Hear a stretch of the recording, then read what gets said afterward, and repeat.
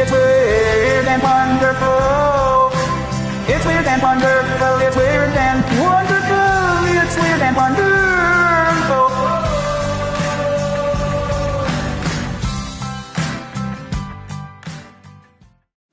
Hello and welcome to Growing Up, a lesson in which we look at both puberty and the menstrual cycle. Puberty is the time when lots of changes take place in your body, and it normally happens between the ages of 10 and 15. It happens earlier for girls and later for boys.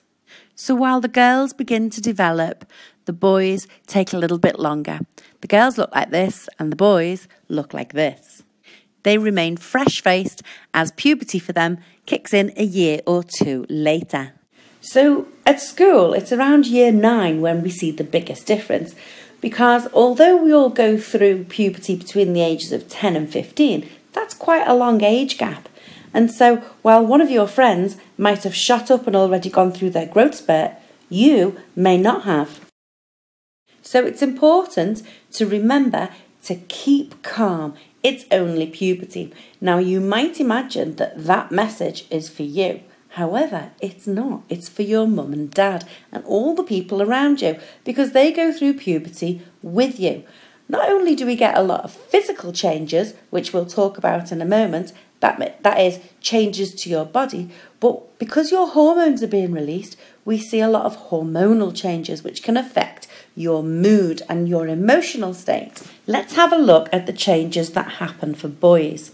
So, something happens in the brain during puberty that sparks the whole process off, and a messenger, a hormone, is released from your brain into your blood. It travels all over your body, but it actually causes an effect at the testes, and the testes respond by making a hormone called testosterone. Now, that hormone has a lot of far reaching effects.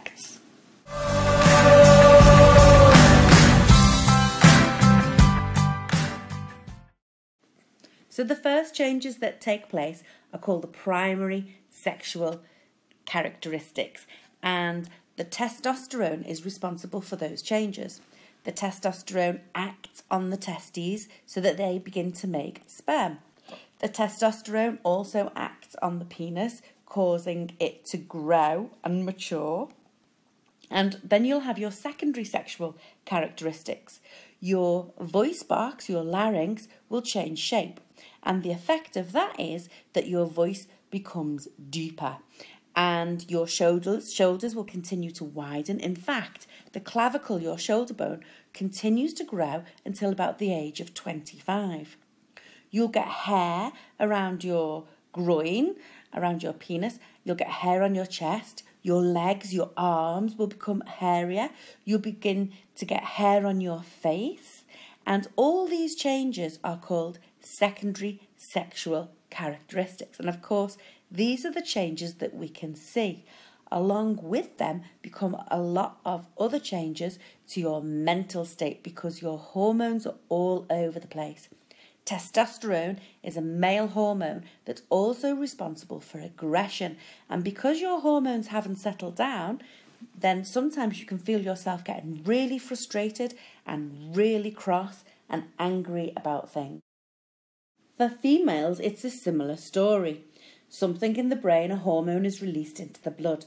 It travels all over the body and it causes the ovaries to produce another hormone called estrogen. And estrogen is the hormone that's responsible for all the other changes that take place. You can see the differences on this diagram.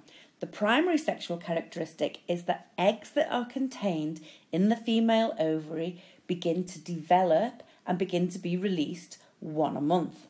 This happens alongside menstruation, where the blood thick lining develops each month and is shed during a process called menstruation, or more commonly called the period. Other changes that take place in the female body are called secondary sexual characteristics, and those kinds of changes are all designed to protect the developing embryo and fetus and help the development of the baby. like the male, we'll also see a development of muscle. However, that is pretty much masked in the female because we also see the laying down of fat. Fat around the legs, the abdomen, the uh, rear side, all laid down because then we've got a little bit of extra cushioning should the female get pregnant.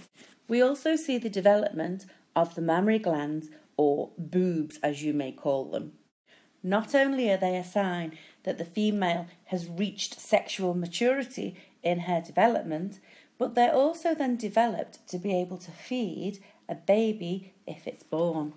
And just like the male, we see a lot of emotional changes taking place, mood swings, because we've got this disruption of hormones that disrupts the way we act and the way we think.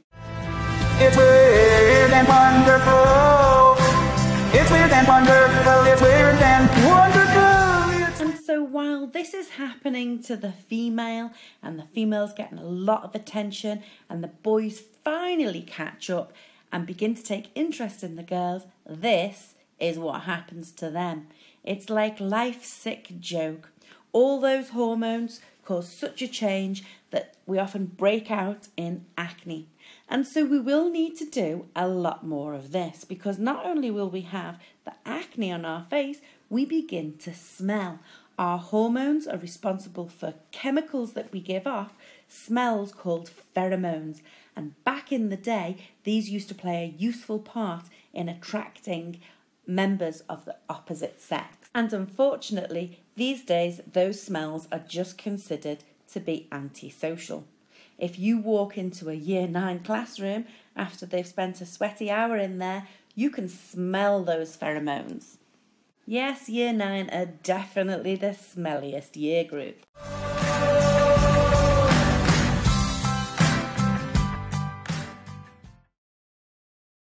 And suddenly, when you think that life couldn't be any worse, you've got all these emotional changes going on, all these changes in your body that aren't in, in line with the changes happening in your friend's body, you also begin to have your period. Well, of course, this applies to females, not males.